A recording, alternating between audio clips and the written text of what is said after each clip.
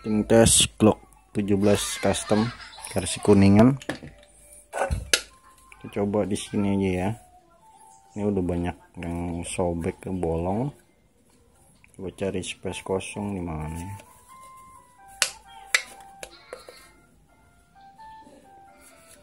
Sini sih bawah nih kosong nih. Kita samain aja sini ya bawahnya.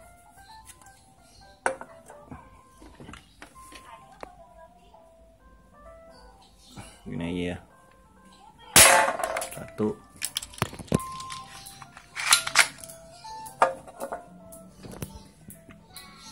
Duanya dari sini ya.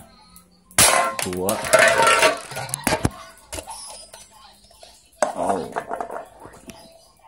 Oke ya. Udah sobek ya. Cuman karena posisinya agak bawah kali ya. Jadi mental lagi. Nggak masuk tapi mental kuat dia. Oke ya. Glock 17 custom. Thank you